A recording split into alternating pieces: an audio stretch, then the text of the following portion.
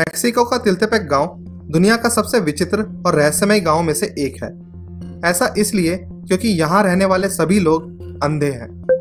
यहाँ सिर्फ़ इंसान ही नहीं, बल्कि यहाँ के जानवर और पक्षी भी अंधे हैं। सुनने में यह बात बेहद अविश्वसनीय लगती है, लेकिन सच अक्सर विचित्र और अविश्वसनीय होता है।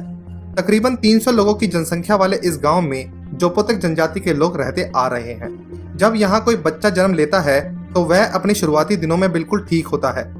लेकिन धीरे धीरे उनकी आँखों की रोशनी कम होने लगती है और कुछ ही समय में पूरी तरह से निष्क्रिय हो जाती है। गाँव के सभी लोगों के अंधेपन का कारण यहाँ के लोग एक पेड़ को मानते हैं। यहाँ के लोगों का मानना है कि यह पेड़ शापित है। यहाँ मौजूद यह पेड़ जिसे ये लोग लाउजुएला के नाम से जानते हैं, लगभग सौ साल पुराना है और इस गाँव की ऐसी मान्यता है कि जो कोई भी इस पेड़ को देख लेता है, वह अंधा हो जाता है। इस जगह के इसी रहस्य ने डॉक्टर्स और रिसर्चर्स का ध्यान भी अपनी ओर खींचा।